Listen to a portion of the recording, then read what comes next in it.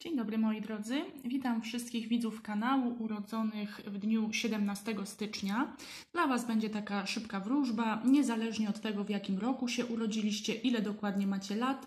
E, tutaj ważne jest to, że przyszliście na świat dnia 17 stycznia, czyli dla wszystkich oglądających, który, którzy właśnie w tym dniu obchodzą swoje urodziny, e, taka właśnie szybka wróżba. Dla Was wypadła moi drodzy piątka buław. E, piątka buław to jest jak sami widzicie, bo na tej karcie doskonale doskonale to zostało odwzorowane, to jest jakaś walka. Walka człowieka z przeciwnościami, walka człowieka z innymi ludźmi, bądź też ewentualnie walka z samym sobą, czyli takie napięcia, konflikty wewnętrzne.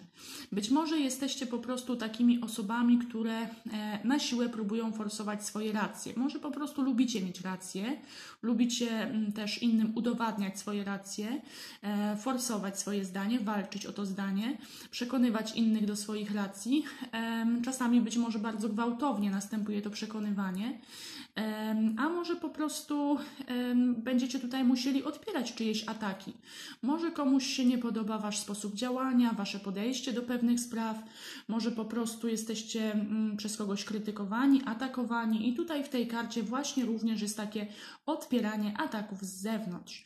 E, czasami karta piątka buław oznacza, że po prostu ludzie muszą się zjednoczyć dla dobra wspólnej sprawy, czyli jeżeli gdzieś e, występujecie w zespole czy w tandemie, no to być może będzie wymagane wspólne działanie dla rozwiązania jakiegoś konfliktu czy jakiejś trudnej sytuacji. To może być na gruncie zawodowym na przykład. Jest grupa ludzi, którzy ze sobą razem pracują, no i na przykład zmagają się z takim czy z innym problemem, na przykład z jakimś powiedzmy takim hardym, nieprzystępnym przełożonym. I tutaj muszą się jakoś zjednoczyć, żeby na przykład wspólnie bronić swoich praw pracowniczych.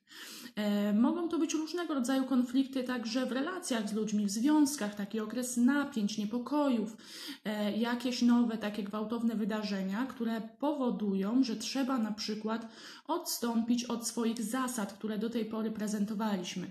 I właśnie tutaj może targać nami taki konflikt wewnętrzny, kiedy się zastanawiamy po prostu, czy jesteśmy w stanie poświęcić jakieś swoje zasady w imię po prostu innej idei.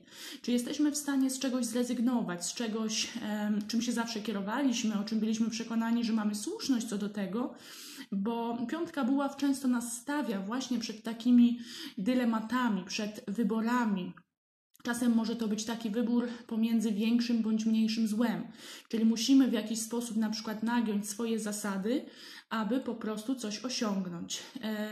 I w związku z tym możemy właśnie przeżywać rozterki, możemy się zastanawiać, możemy toczyć taką wewnętrzną bitwę sami ze sobą.